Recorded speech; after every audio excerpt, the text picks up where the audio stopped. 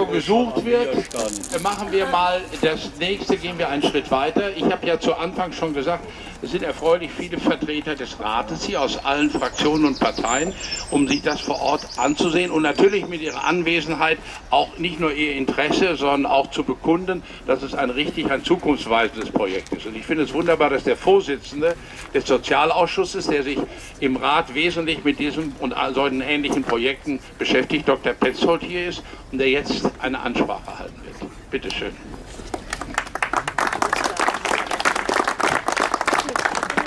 Ja, vielen Dank, Herr Stankowski.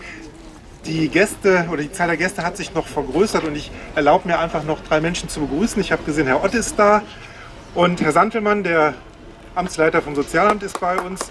Und ich freue mich, dass unser Pfarrer Meurer, der wohl auch ein großer Freund dieses Projektes ist, nun auch noch sich eingefunden hat. Sind wir alle zusammen. Ja, ich bin letzten Herbst mal hier gewesen, da sah das im strömenden Regen, da sah das noch ganz anders aus. Und ich denke, lieber Herr Kippe, lieber Herr Stark, lieber Herr Schaller, auf den Tag haben Sie lange gewartet und wahrscheinlich auch eine ganze Menge an Klippen umschiffen müssen, um jetzt ja endlich heute Grundstein legen zu können. Aber im Bohren von dicken Brettern ist der SMM ja groß oder groß geworden. Und Sie sagten schon, Herr Stankowski, dass fast die gesamte Sozialpartie des Rates hier aufgeschlagen ist und dass auch ein Landtagsabgeordneter, Martin Börschel, sich hier zu uns begeben hat. Das zeigt die Wertschätzung, die Ihr Projekt in dieser Stadt Köln erfährt. Und ich freue mich ganz besonders, dass ich hier ein paar Worte reden darf. Ich bin da sogar ein bisschen stolz drauf, denn ich finde diesen Projektansatz, den Sie hier verfolgen, einfach überzeugend und überzeugend einfach. Denn es ist ja wirklich eigentlich ganz einfach.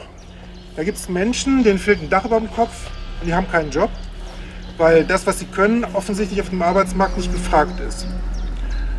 Und dann liegt es doch eigentlich ganz nah, dass sich diese Menschen zusammentun und selbst Wohnungen bauen und dann vielleicht noch gleich einen Arbeitsplatz für die Zeit nach dem Bauen, der dann natürlich sozialversicherungspflichtig sein soll. Das klingt wirklich total einfach, da hätte man schon längst drauf kommen können, denkt man. Aber wenn man sich in Köln ein bisschen auskennt und nicht nur in Köln, sondern in Deutschland, dann weiß man, dass das überhaupt nicht einfach, sondern eigentlich unmöglich ist. Und dass Sie, der SSM und der Verein Macht mit, dieses eigentlich Unmögliche einfach mal mutig anpacken, das ist ja schon aller Ehren wert. Was mich aber an Ihrem Projekt so ganz besonders fasziniert, ist Ihr ganz spezieller Ansatz. Ich kenne und schätze die Arbeit vom Jobcenter und Herr Santelmann von der Sozialverwaltung, die mit wirklich großen Anstrengungen und durchaus mit Erfolg versucht, Langzeitarbeitslose wieder in die Arbeit zu bringen. Und die Arbeit soll auch keinesfalls kleingeredet werden.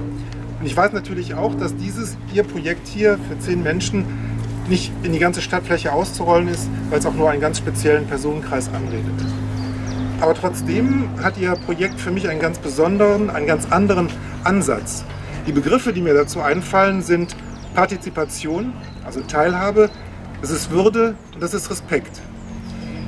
Die Menschen, die hier erstmal arbeiten und dann später hier wohnen und arbeiten werden, bekommen hier die Chance, ihr Schicksal buchstäblich selbst wieder in die Hand zu nehmen, mit dem, was in, sie, in ihnen steckt und was bislang offensichtlich auf dem Arbeitsmarkt nicht so gefragt war, bauen sich ihre Wohnungen, zusammen mit Herrn Schaller natürlich, selbst und ihren Arbeitsplatz gleich noch mit. Sie bauen also ihre Zukunft selber auf. Und anders in den Beschäftigungsmaßnahmen, so wichtig und sinnvoll sie sind, können Sie jeden Abend den Erfolg Ihrer Arbeit sehen. Dann sind nämlich wieder ein paar Steine dazugekommen oder die Trennwand steht. Und Sie werden, das haben wir eben gehört, Sie werden unabhängig von Transferleistungen, weil Sie, und da verwende ich mal diesen altbackenen Ausdruck, von Ihrer Hände Arbeit leben können. Und das macht mal einen geraden Rücken.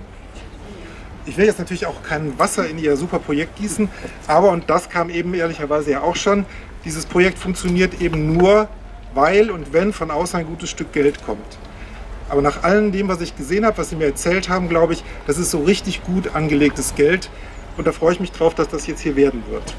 Deshalb meine Gratulation zu Ihrer Projektidee, meinen großen Respekt für den langen Atem bei der Realisierung meine guten Wünsche für das Gelingen und viel Glück und Gottes Segen beim Bauen. Vielen Dank.